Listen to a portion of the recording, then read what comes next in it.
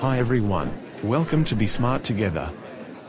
Before we start, please click subscribe and turn on the notification to avoid missing valuable videos. Also, feel free to drop a comment below. Today, I want to cover one of the common and useful functions. Do you know what it is? It is the replace value function. Say you want to search through the name column for the keyword flower, and replace it with product. You would select the name column, then click on the replace value function. We want to search for the keyword flower, and replace it with the word product. The keyword flower is now replaced with the word product. Here is on of little tip. There are times, the cell contains special character. You don't want to do when come to data cleanse. You can click on one of those cells that contain special character, then click on the Replace Value function. Power Query will auto-fill up the select cell value in the Find field. So, you know what is the special character. Delete out others text except the special character. The special character is now removed. I will explain the syntax and details from the next example onward. There are five arguments for the table replace value function. The first argument refer to the table or previous step.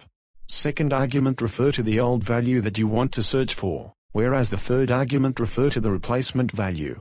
The fourth argument is the function. The replacer function is what commonly use here. The last argument refer to the columns you are searching. Previous examples limit you to find the specified single text and replace it with new value. You can replace the highlighted text with the keyword each, then follow by the group column name in the square bracket. We also need to add the keyword each to the third argument, and follow by the replacement value. We replaced an MT value to the group column. Let's replace the MT value to the type column. You replace the value from the type column. If you add a prefix before the column name, it will be added to the replacement value. Check out the result. The prefix is added to each of the rows. You can also apply any relevant functions to be more specific of what you are replacing. Let's use the text start function to replace only the first three characters. Let's reset the syntax, and I will show you how to apply conditional statement. Say we want to replace the value in the group column depending on value in the type column.